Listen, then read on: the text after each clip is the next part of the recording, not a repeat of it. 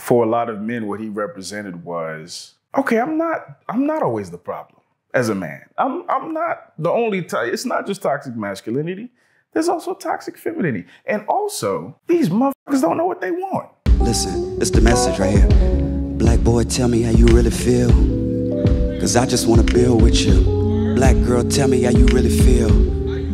I wanna keep it real with you. I wanna live better, eat better. I wanna love better, sleep better. I feel Yeah, like people wanna- are just hurt. Absolutely.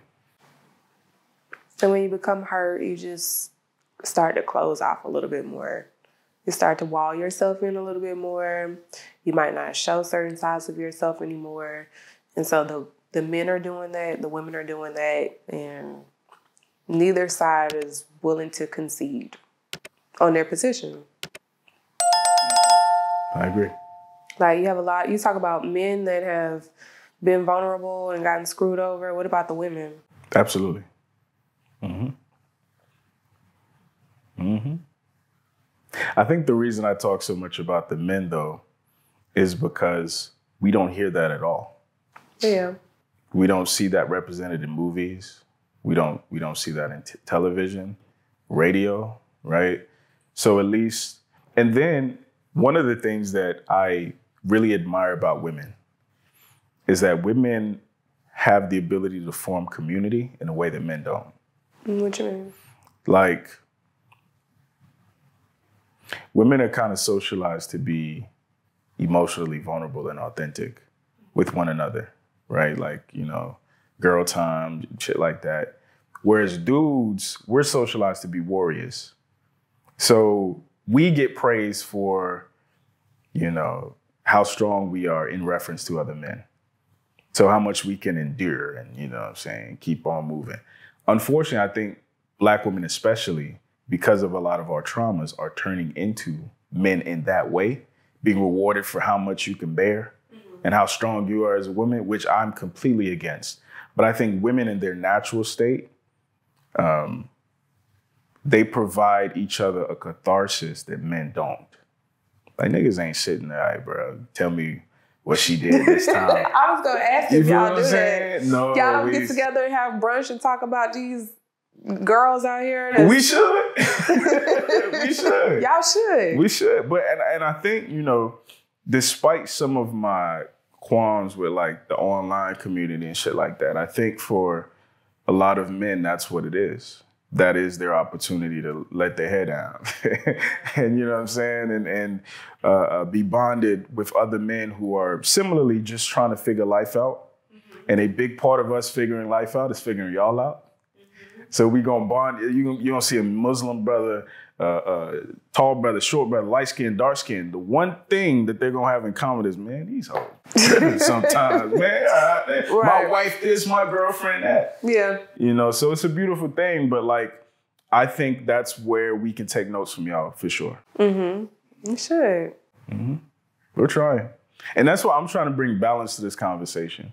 Instead of just talking about women or talking at women, I want to talk to women. Do you feel like that's why so many of you received Kevin Samuels so well? Like he gave y'all a platform to congregate and talk about these women or put women down actually in some cases. I think Kevin Samuels was black men's anger translator.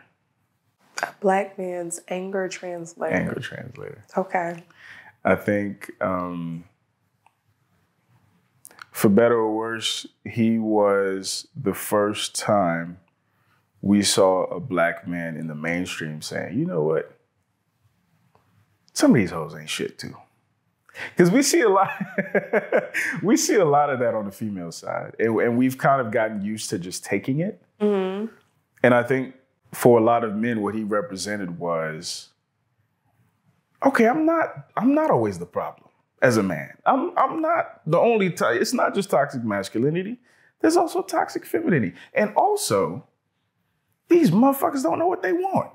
Mm-hmm. I want a man who is making eight hundred thousand dollars a year, but I want I want him be, to be home to take the kids to school. Mm-hmm. He's running a multi-million dollar company, but I want him at every single recital, and I want him to to be rubbing my back and to help me cook and this, this, and that. It's like in real life, you have to pick a struggle, Yeah. right? And and then the worst part is, and I think this is why he became famous, the average at best thing. If I want to make it to the league, I got to figure out okay, the average NFL player of my in my position, how fast does he run? How tall is he? How much does he weigh? How much does he bench? What's his shuttle time? What's his vert? I have to figure those things out and compare myself accordingly and figure out where I need to improve. Mm-hmm. Unfortunately, the message women receive from media is that you deserve anything and everything and you shouldn't have to compare. So it don't matter that you are, according to Kevin Samuels, a four. You deserve a 1% man. And he should he should see the value. Forget Iman and all these supermodels. Forget them. I am the best woman that you can ever hope for. Even though when it comes to what men value, you might not rank that high. Mm-hmm. So I think he was famous or he blew up so much because he was telling women, hey, Be realistic. I agree. be realistic. And it's not even this is this is what I've added to it, right? I'm not saying that you can't get that dude. I'm just saying instead of thinking that you're Michael Vick, maybe try to be Tom Brady. What do I mean by that? Michael Vick came out running fast. He's one of those naturally gifted people. Tom Brady was drafted in the sixth round, and he's now considered the GOAT, the greatest player that's ever played quarterback in the NFL. Was he the fastest? No. Was he the strongest? No. Did he have the best arm? No. Was he the most accurate? No. But that that motherfucker put together what he had, and he was able to still compete with those guys. Now, the only way you can beat Tom Brady is self-awareness. To realize that no, I'm not the most beautiful. I don't have the biggest titties. My ass is not the plumpest. But you know what? When a man is around me, he's gonna feel the best he's ever felt in his life because I have personality, mm-hmm. because I know how to communicate well, because I'm accountable, because this. So I think the the, the greater message Kevin Samuels was trying to get across was first be not just realistic but self-aware. And after you're self-aware, you know where you need to improve on. And if you can improve on those things, you can definitely knock these IG models out the water because all they have is that. All they have is the speed and the strength. The sexual market value. I know a little bit. I watched a few clips. Mm-hmm. And that's it. But unfortunately, you know, also because of media, that's not what goes viral. That's why my shit ain't viral. Because I sit down and talk for two hours with a woman and try to break shit down, and she try to break shit down for me. Mm-hmm. But people want the, oh, bitch, you ugly. Yeah. That's why you ain't got nobody. Yeah. Well, nigga, your dick small. And that's why you ain't got You know what I mean? And that's where we are as a society. Yeah. It's all yeah. It's all transactional too.